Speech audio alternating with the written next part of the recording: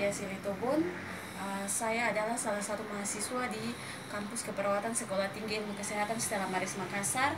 Saya merupakan, uh, saya berasal dari Tual Maluku Tenggara. Saya merupakan, saya merupakan salah satu anak perantau yang tinggal, uh, yang datang untuk melanjutkan studi di sini dan tidak memiliki keluarga di sini. Saya merupakan salah satu korban bom bunuh diri Eh, di gereja Katedral Makassar sekitar enam bulan yang lalu. Pada saat ini saya mengalami keloid pada bagian daerah tangan saya dan pada daerah kaki saya. Tetapi pada saat ini keloidnya sangat terasa nyeri dan mengalami penebalan yang terus-menerus dan saya uh, sempat uh, saya tidak bisa melakukan aktivitas dengan sempurna dikarenakan keloid yang sangat luas pada daerah tangan saya.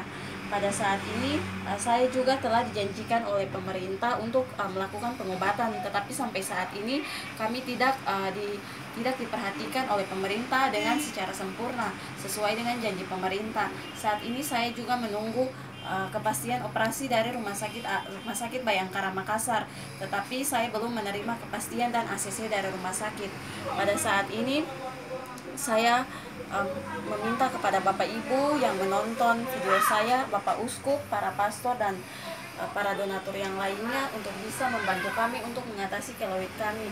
Semoga kami juga bisa dapat beraktivitas dengan dengan baik dan lebih luas.